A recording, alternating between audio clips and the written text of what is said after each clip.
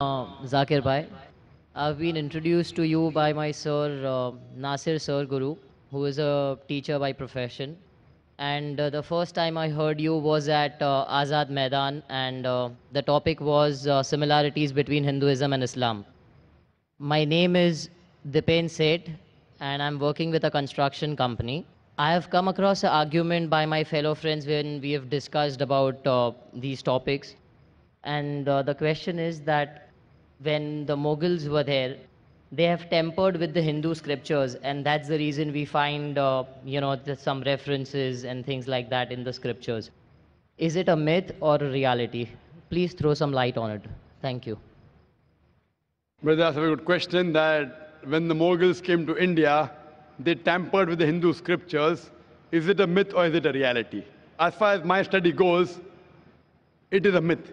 There are some things what the Hindus said did come into the scripture. For example, the word Hindu.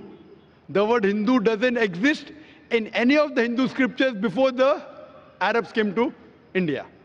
Hindu is actually a geographical definition. The word Hindu was first used by the Arabs. When they came to India, they say Hindi, Hindi. Even now, today, when I go to Saudi, they call me Hindi.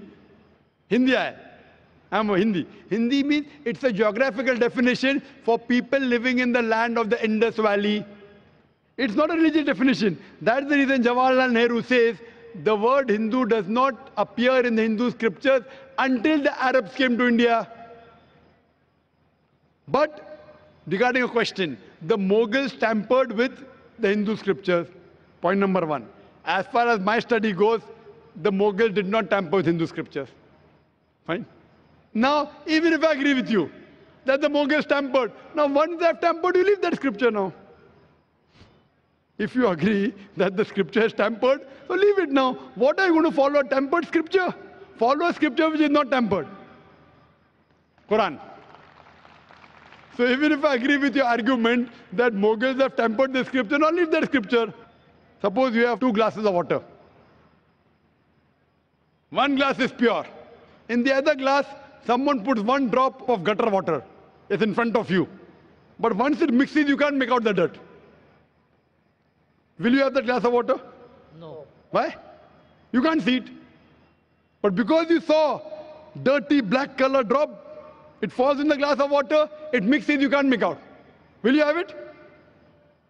Will you have that glass of water? Once I've seen it, I won't have it. Correct, very good, because you're logical. So even if I agree with you that Mughals have tampered the scripture, leave that scripture. Have the pure scripture. Quran. And if you say they have not tampered, the Hindu scripture says you have to follow the Quran. Hindu scripture says that you have to follow Prophet Muhammad, peace be upon him. If they have not tampered, if they have tampered, leave it, follow this. If they have not tampered, the scripture says that you have to believe in one God, which I give quotation. Besides giving quotation of God, that scripture also says that you have to follow the last and final messenger, Prophet Muhammad, peace be upon him. I can give you quotations from the Hindu scriptures talking about the coming of Muhammad.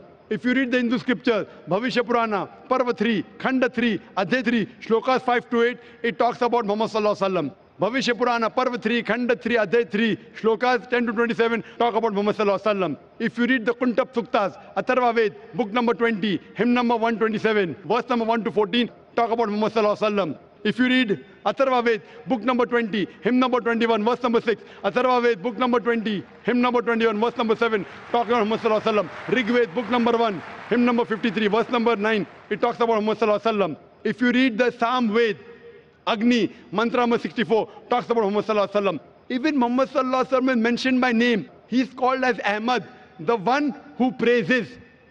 In Sam Ved, Uttar Chik, mantra number 1500. In Sam Ved, Indra, chapter number 2, mantra number 152. In Yajurved, chapter number 31, verse number 18. In Rigved, book number 8, hymn number 6, mantra number 10. In Atharva Ved, book number 8, hymn number 5, mantra number 16. Atharva book number 20, hymn number 126, mantra number 14.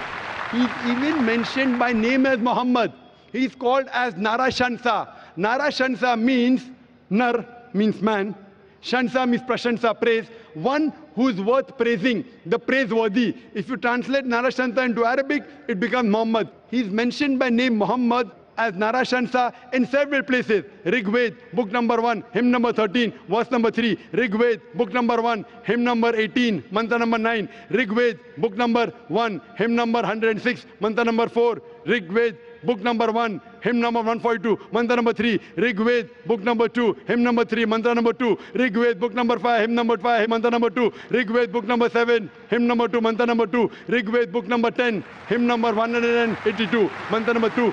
Yajurved, chapter number 20, verse number 37. Yajurved, chapter number 21, verse number 31. Yajurved, chapter number 21, verse number 55. Yajurved, chapter number 20, verse number 37. Yajurved, chapter number 20, verse number 57. Yajurved, chapter number 28, verse number 2. Yajurved, chapter number 28, verse number 19. Yajurved, chapter number 28, verse number 42. I can keep on quoting only references of Muhammad Sallallahu Alaihi Wasallam mentioned in the Hindu scriptures. So your scriptures say that there's one God, you worship Him alone, and you have to follow the last and final messenger. Even when the scriptures speak about the Kalki avatar, about Muhammad as the last and final messenger. It says his mother's name will be Sumati. That's Amina, the name of Prophet Muhammad mother. It says his father's name will be Vishnu, Yas, servant of God. Abdullah, which is the name of Muhammad father. It says he will be born in Sambala, a place of peace, that is Makkah. He'll be born in the place, in the family of the chief of Makkah, and we know in the family of Quraysh. He'll have four companions talking of the Sahabas. I can go on and on and on talking about this Kalki avatar. He will come, he'll be the last messenger, that is Prophet Muhammad, peace be upon him. I'm asking you, brother, do you believe in one God? Yeah. Do you believe that there's no idol worship? Yeah, I don't believe in idol worship after I heard uh, your speech at Azad. Maidan. So, you know, I'm very clear in all those aspects and I've heard you a lot of times. So, I just had a question which was posed to me and I wanted an answer for that. So, wanted to hear that. So, Do you believe that Prophet Muhammad is the last and final messenger? yeah, I do believe in La ilaha illallah Muhammad Rasulullah. MashaAllah. Yeah. MashaAllah. My concept is very clear and um, thank you, brother. from the bottom of my heart that you're doing such a good work and you're clearing all these misconceptions that we all people do have. MashaAllah, reward you, brother. And in Islam, if you submit your will, a person is called as a Muslim. You Exactly. submitted So your when- will. exactly, sir. Sorry to interrupt you, but that's the reason when people ask me, who, uh, what's your religion? And, uh, you know, I speak Gujarati, and when they tell me, what's your religion? I just, uh, when I heard you, that, um, you know, the definition of a Muslim is the person who owes his will to Allah subhanahu wa ta'ala. And that's what I told him that, you know, I'm a Muslim. So he was like shocked. So the reason Allah why he was shocked is that I, I speak Gujarati. I know where um, you know I'm a Muslim or something, or you know come from a Muslim background family. So I was like, I'm born in whichever family it is, but then I know what is right, and I've just studied that, and that's what I talk about and I preach about, and I just try to do my bit in the small pieces and bits that I can do. So thank, Thank you, brother. I really Thank you, appreciate And I thank you. And may Almighty God grant you Jannah. And if you require any query, any question, you're most welcome to contact.